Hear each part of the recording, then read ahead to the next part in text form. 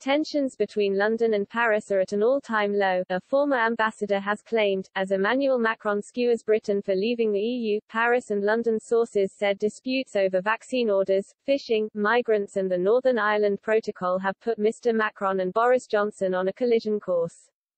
The disputes include a row involving new post-Brexit fishing rights for French fishermen in the British Crown dependency of Jersey, after a flotilla of vessels approached the Channel Island in protest against tighter regulations in May, the UK government sent a Navy patrol vessel to the area.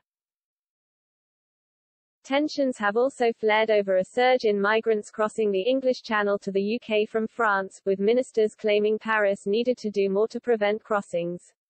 Lord Frost's plan to renegotiate the Northern Ireland Protocol has also caused some upset among the Macron administration. Meanwhile, ministers in Paris accused Transport Secretary Grant Shapps of discrimination after the UK kept stricter quarantine measures in place for fully vaccinated travellers arriving in England from France for longer than other parts of Europe. One Paris diplomatic source claimed some of the rows were pathetic and pointless political games, which have caused deep rifts between both countries. Lord Ricketts, formerly ambassador to France also said, restoring confidence will require a lot of effort, following the events. Mr. Ricketts, who served between 2012 and 2016 added, the many disagreements that have arisen in recent months have created such a climate of mistrust that one decision cannot undo the damage done.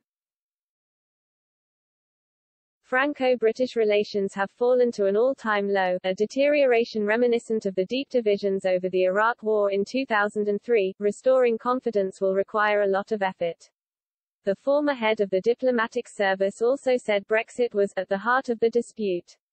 He claimed President Macron was one of the European leaders most hostile to the withdrawal from the European Union.